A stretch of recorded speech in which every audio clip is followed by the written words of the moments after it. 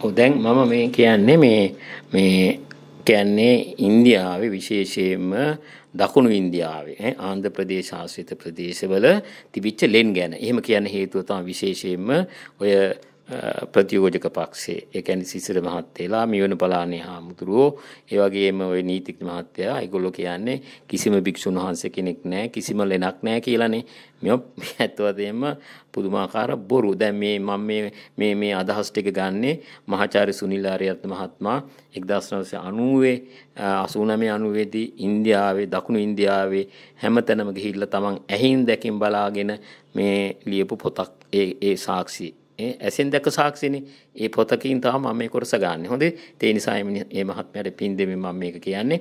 හත්වෙනි සිවසේ හිංසියාන් කාංචිපුරම් වලට එනකොට සංඝාරාමයක් තියලා තියෙනවා. අශෝක ඉදි කරපු අඩි 100ක් උස ස්තූපයක් ගැන මේ හිවන්සියන් භික්ෂුව සඳහන් කරනවා. උන එක එක සාක්ෂියක් හාමුදුරු හිටි බවට. හොඳද? ඊළඟට මිහිඳු හාමුදුරු කරපු ආරාමයක් ගැන නොඑක් තැන සඳහන් වෙනවා. දැන් මණිමේකලා කියලා මහා කාව්‍යයක් තියෙනවනේ ද්‍රවිඩ දෙමළෙන් ලියපු ඒ පොතේ තියෙනවා ඉන්ද්‍ර විහාරය ගැන. හරිද? මණිමේකලාවේ තියෙනවා. ඒ වගේම තමයි හිවුන්සියන් භික්ෂුවත් කියනවා ඒ ආරාමය ගැන.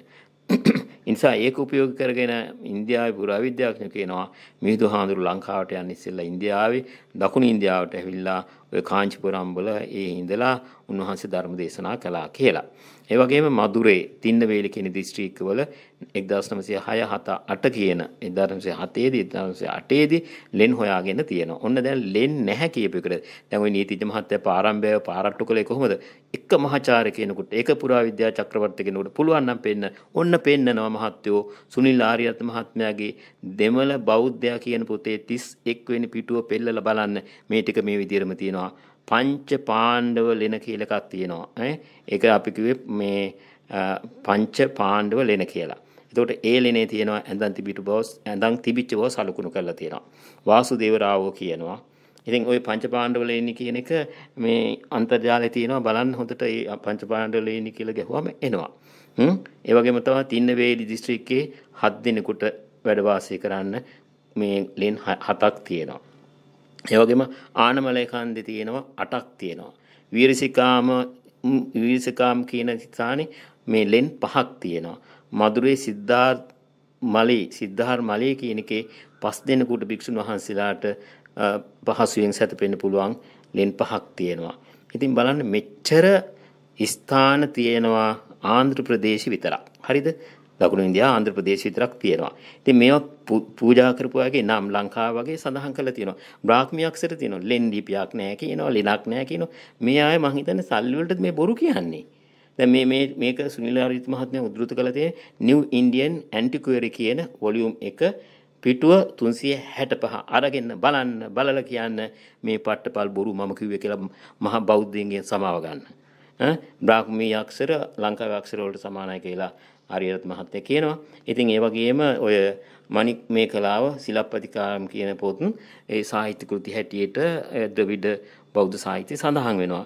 ඒක නිසා අපි ඉන්න තුනේ මේ අය කියන මේ කතා නොමග යන්න එපා. අදටත් ඉන්නවා කෝටි පහක් ඉන්නවා 1990 වෙනකොට දෙමළ බෞද්ධ විතරක්. හින්දු අය නෙමෙයි දෙමළ බෞද්ධ විතරක්. ඉතින් ඒ නිසා මේ අය කියන්නේ එක බෞද්ධයෙක් නේ. ඒක බුද්ධ ගායක කවුද ඉන්නේ හාමුදුරුවෝ? ලංකාවේ හාමුදුරුවෝ. ඉන්දියාවේ හාමුදුරුවෝ. ලංකාවේ හාමුදුරුවෝ මේ මොකද්ද මහබෝධි අර විශ්‍රාම ශාලාව කරගෙන යනවා. හ්ම් එතකොට කුසිනාරාවේ ඉන්නේ කවුද? කුසිනාරාවේ ඉන්නේ දෙමළ හා මේ ඉන්දියන් හාමුදුරුවෝ. අපේ හාමුදුරුවෝ කිසි බලයක් නැහැ ඒවැ. හා ඉතින් මේ වහතුරු දන්නේ නැතුව මේ පට්ටපල් බොරු ගහලා මිනිස්සු අහිංසක මිනිස්සු මුලා කරනවානේ. ඈ ඉතින් කල්පනා කරලා බලන්න. එතකොට ඒ වගේ අපේ හාමුදුරුවෝ මේ මොනවද විශ්‍රාම ශාලාවක් කරගෙන යනවා. හැබැයි කුසිනාරාවේ දැන් ওই පින්නම් මංචකේ තියෙන තැන ඒකේ අර හින්දු හාමුදුරු කෙනෙක් තමයි මේ ඒත් විශ්‍රාම ශාලාවකුත් කරගෙන යනවා.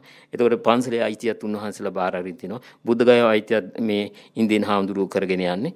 කල්පනා කරලා බලන්න අපි ඉදිරියට පෙන්නන මොනතරම් වීඩියෝ වල හාමුදුරුවෝ ඉන්නවද ඉන්දියාවේ ඉන්දියන් ජාතික හාමුදුරුවෝ. මේගොල්ලෝ කියන්නේ එක හාමුදුරු කෙනෙක් නෑ, එක බෞද්ධයෙක් නෑ. පින්න තුනේ බොරු අහන්න එපා. මේක මහා පාපයක්. බොරු කියන එක වගේම තමයි බොරු පිළිගන්න එකත් මහා පාපයක්. ඒ නිසා ඉන්දියාව අදටත් බුදුරජාණන් වහන්සේගේ ධර්මය එලෙසම රකින්න පිරිස අනන්ත අප්‍රමාණ තියෙනවා.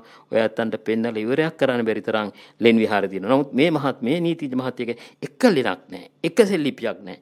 මොනවද මේ? උගතෙකුට ඇත්ත වශයෙන් උගත් මිනිස්සුයෙකුට ගැළපෙන කතාවද මේක? අනේ මහත්තයෝ කරුණා කරලා පොත් ටිකක් කියවන්න. කියවලා කතාවට එන්න. එතකොට තේ හැබැයි එකක් තියෙනවා. හදලා ඕන කමින් මේක විකෘති කරන අදහස තියෙනවා නම් ඔය යථාර්ථ ටියුබ් එකේ කරන එක්කෙනාට ඔය මහත්තයටයි කරන්න පුළුවන්. ඒවට අපි ඉඩ දෙන්නේ නැහැ මහත්තයෝ. අපි ඉන්නේ බුදුහාඳුරන්ගේ ධර්මේ රකින්න. තේරුණා නේද? ඒ නිසා පට්ටපල් බොරු කියලා මිනිස්සු නොමග යවන්න එපා.